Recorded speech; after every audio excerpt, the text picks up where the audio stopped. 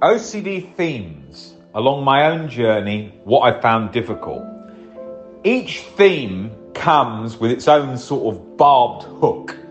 And I know we say, yes, all themes are similar. Of course, they're all just thought, thoughts, not as in the famous term, thoughts are thoughts, that you often hear, which is a sort of oversimplistically put statement in the OCD community of how to sort of recover from OCD by just dismissing it as, oh, it's just an OCD thought, where it's obviously not as easy as that because OCD makes it feel as real as hell, so you can't tell what is an OCD thought and what isn't. Now, in relation to feared scenarios, when I went through different fears, fear of having HIV felt very, very scary, of course, at the time. But certain feared scenarios came with the sort of extra barbed hook the ones of the harm, the going to jail, the harming your own family.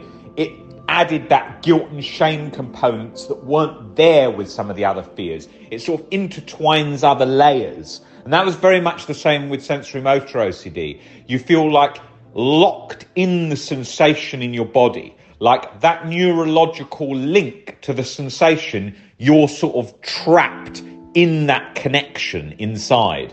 And those things all brought an extra barbed hook. But in reality, all they were were just fears of certain circumstances and our mind being such a great projector of these feared scenarios and experiencing that. And that's what gave it the grip. So when people have got POCD, when people have got incest OCD, they're feeling that additional shame layer.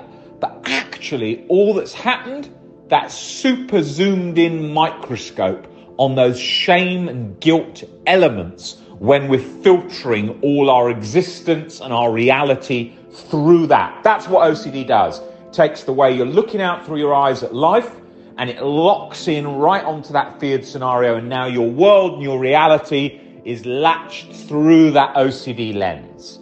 Your theme is not, the, especially with existential. I used to think, God, I'm the first human to think of this. No, I definitely wasn't. Philosophers have been thinking of all those scenarios for years.